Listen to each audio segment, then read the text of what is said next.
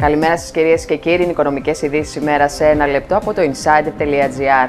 Για να ολοκληρωθεί η δεύτερη αξιολόγηση έως το Eurogroup της 20 Φεβρουαρίου, θα δώσει μάχη η κυβέρνηση, ακόμα και με νέες υποχωρήσεις, προκειμένου να προλάβει τη συνεδρίαση της Ευρωπαϊκής Κεντρικής Τράπεζας στις 9 Μαρτίου, η οποία και θα αποφασίσει το ενδεχόμενο συμμετοχή της Ελλάδα στο πρόγραμμα ποσοτικής χαλάρωσης. 100.000 μισθωτοί που κόβουν παράλληλα και μπλοκάκι θα κληθούν οι ίδιοι να υπομισθούν το σύνολο της εισφοράς τους προς τα ασφαλιστικά ταμεία. Οι ελεύθεροι επαγγελματίες που αμείβονται μόνο με μπλοκ σε έως και δύο εργοδότες θα μοιράζονται το βάρος των εισφορών τους με τον εργοδότη με βάση το μεικτό ποσό, όπως αυτό καταβάλλεται τον τρέχοντα μήνα επιβολής των εισφορών.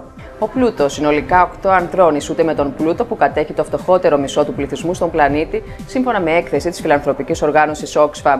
Καθώς ηγέτες και υπερπλούσιοι συγκεντρώνονται για το ετήσιο Παγκόσμιο Οικονομικό Φόρουμ στον Ταβός της Ελβετίας, το χάσμα πλούτου μεταξύ πλουσίων και φτωχών είναι το μεγαλύτερο που έχει καταγραφεί ποτέ. Πτωτικά κινείται το χρηματιστήριο Αθηνών στο σημερινό άνοιγμα της συνεδρίασης, με τον γενικό δείκτη τιμών να κυμαίνει 645,86 μονάδες, καταγράφοντας απώλειες 0,87%. Σε πτώση και τα ευρωπαϊκά χρηματιστήρια. Για περισσότερες ειδήσεις στο insider.gr.